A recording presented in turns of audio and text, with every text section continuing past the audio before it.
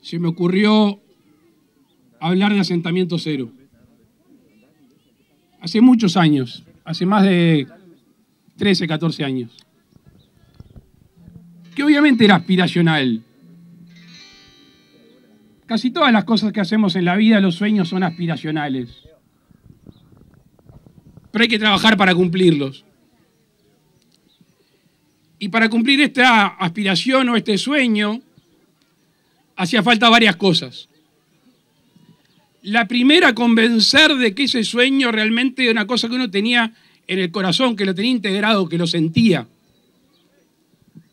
Lo segundo y no menor, obtener la posibilidad de hacerlo.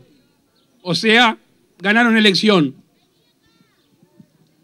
Lo tercero, que es tan importante en la vida, es la compañía. ¿Quién elige uno para acompañarlo en este sueño?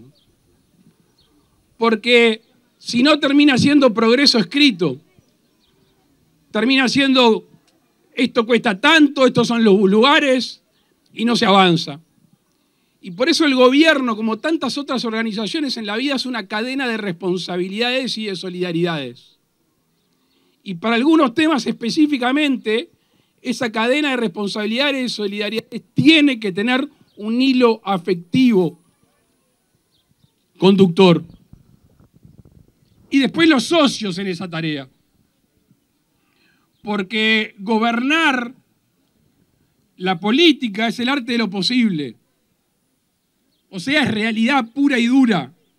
Es transformar el sueño en realidad. Y para eso hacía falta recursos.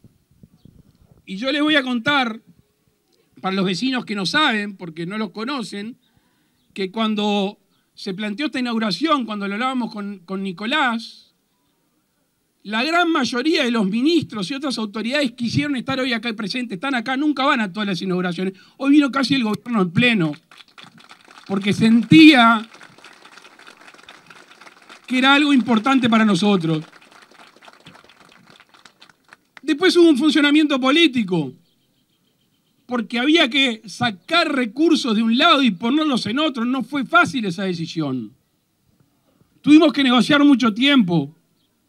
Y ahí hubo un gobierno integrado por partidos de la coalición que cada uno hizo en su esfuerzo, que le costó, como toda decisión que tenemos que tomar en la vida, que a veces no es blanco-negro, a veces hay grises, hay matices, que consiguieron los recursos. Y después ejecutar, que créanme que de las cosas más difíciles que uno tiene en el gobierno, como también en la vida de cada uno de ustedes, es después que conseguimos la plata, cómo ejecutamos. Y ahí se juntan gente de distintas competencias, distintas facultades. Había que hacer que ese engranaje funcione. No fue fácil. Nos agarramos alguna calentura. Pero después, como había gente que tenía la sensibilidad suficiente, que compadecía y que sabía que alguna gente espera y otra desespera, había que pisar el acelerador. Yo recuerdo alguna conversación con Florencia y yo le decía, Florencia, la gente vive entre unos chapas y unos varejones, no me importa tanto lo que dice un papel o lo que dice un contrato, lo que dice un sistema, a la gente hay que hacerle casa, a la gente hay que arreglarle los barrios. Y yo sabía, no me cabía la menor duda, que los intendentes eran los mejores socios. No me cabía la menor duda porque no le teníamos que decir dónde era el lugar, no le teníamos que decir cómo se llamaban los vecinos, no le teníamos que decir para dónde se inundaba, no le teníamos que decir cuántas eran las familias que había que de alguna manera realojar. Y todo eso, que costó, pero que fue juntando fuerza, como ese volcán antes de hacer erupción, yo creo que en el mes de mayo tiene su impulso mayor, que es cuando se junta el tema de las licitaciones, los papeles, las empresas, los barrios, conversar. Y de nuevo ahí toda esa gente que hoy no va a salir en la foto, pero que es muy importante en esta tarea, que son los obreros que trabajaron, los asistentes sociales, todos y cada una de aquellas personas que ayudó en lo edilicio y en lo humano.